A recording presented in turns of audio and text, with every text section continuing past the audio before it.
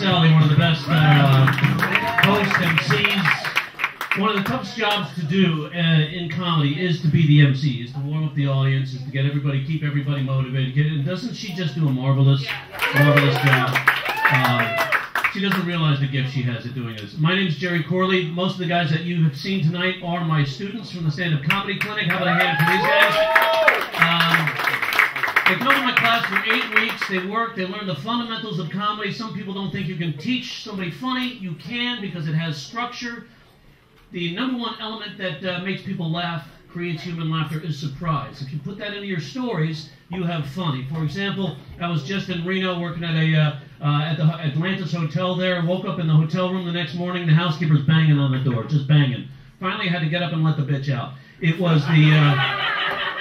She was relentless. You see, what I did there is I surprised you. That's comedy. It's that simple. You can do it in any story you want. I have a child. She's five years old, trying to teach her how to tie her shoes. She's like, Dad, I can't. Dad, I can't. I said, How many times have I told you not to use that word?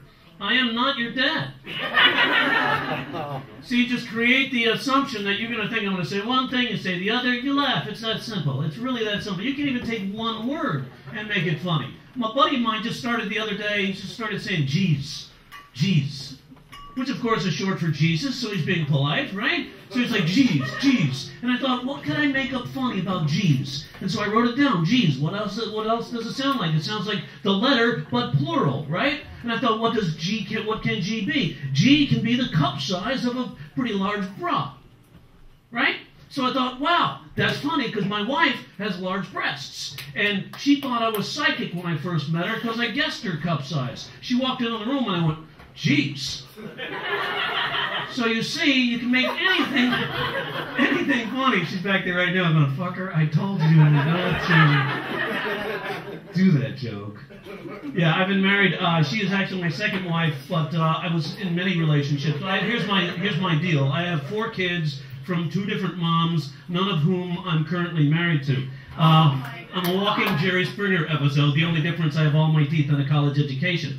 But uh, but now I, I, found the right woman. She's a wonderful woman. She is an airline pilot. That rocks. My my airline pilot, dude. Don't laugh. She'll fucking fly circles around your ass. I, uh, she will. But she, we have an agreement. We, she doesn't work in it. We don't call it the cockpit anymore. We just, uh, any guy would be a little anxious with her wife, with his wife spending days in a place called the cockpit. You know, reaching on the phone during work. Hey, honey, how's your day going? That happened in my first marriage. Thanks. That's nice.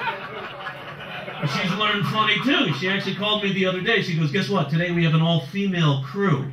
I go, Really? She goes, Yeah, today it's the box office. this has been the most judgmental audience, has it not been? They're like, Ha ha.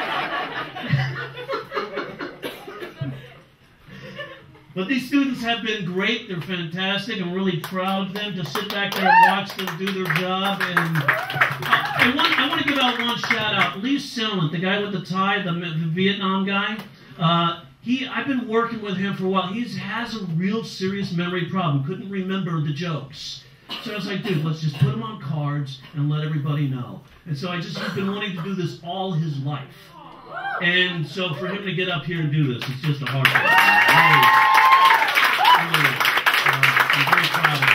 working, working really hard. Um, he's had to work privately with me because he just can't function around crowds. He kills people. So, uh, but he's a lovable guy. So I just, uh, just really, my heart goes out to him. I'm really proud that he's here tonight. Uh, so let's keep it going. Please help me welcome back to the stage Sally Mullins. Huh?